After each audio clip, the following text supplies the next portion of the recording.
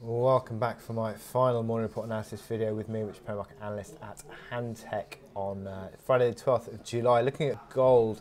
Now, the um, analysis on gold is increasingly choppy. It's increasingly difficult to really um, say on a daily basis, um, given the fact that the market has been so up and down in recent weeks. Um, you can see the fact that uh, we're actually in a trading range now, I believe, 1381 up to 13, uh, sorry, sorry, to 1439.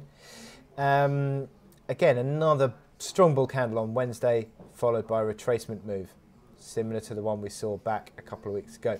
So, just the bulls cannot get any real traction in this, and there is an, an edge lower, a, a drift, a negative drift on these momentum indicators. RSI back under 60 would be edging to more of a corrective move within this range. But for now, I think we've just got to take this as a consolidation, really. Yes, it is a pretty wide consolidation. 1381 up to um, 39 is around about sort of 50 odd, 50, 55 bucks of, uh, of trading range area.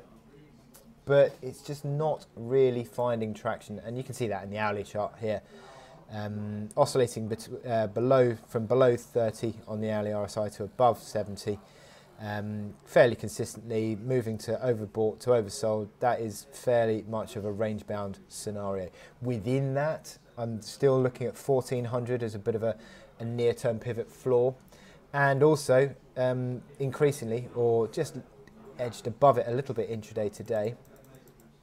You're looking at, I think, 1410 being a bit of a pivot area of resistance. So you've got that in place. Now 1410 move above that and you're looking at 1426, which was uh, reaction high from yesterday before rolling over again. But you look at the fact that moving averages are fairly flat on the hourly, fairly much neutrally configured on the MACD lines RSI, a little bit of a tick higher on the MACD, a bit of a tick higher on the stochastics, reflects um, the bulls getting back into a little bit of a, a more of a buying um, market today. But for now, I don't think you can really take too much direction out of gold um, until you start to sort of breach this uh, these key resistance levels. Really.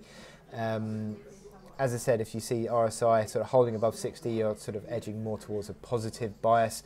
Below 60, I think you start to edge to more of a corrective bias within the range because effectively you're pretty much mid-range now and um, looking for the next signal. So, um, with that in mind, I wish you good luck in your trading for gold for the rest of this week.